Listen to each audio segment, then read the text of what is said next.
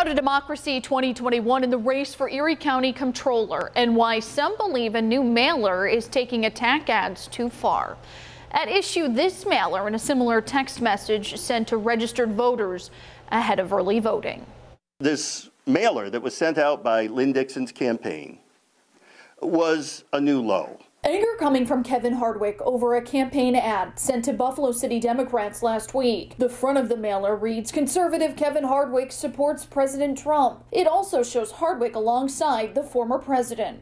The problem Hardwick is a Democrat running for Erie County Comptroller, and he says it's misleading and doesn't align with his political views. That's sneaky. That's a dirty trick. Hardwick was a registered Republican, but switched to the Democratic Party in 2018. This is who Kevin is. Lynne Dixon is running for comptroller on the Republican and conservative lines. Her campaign is responsible for the mailer. These things are factual.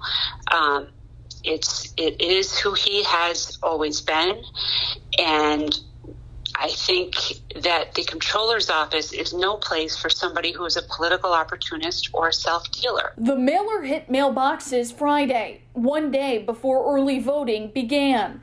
Some registered Democrats also received the same ad in the form of a text message. University at Buffalo political science professor Jacob Neiheisel says the timing and tactic are common although he says it's difficult to tell whether the strategy will have any impact on the election. Do you think this is going to cost him votes?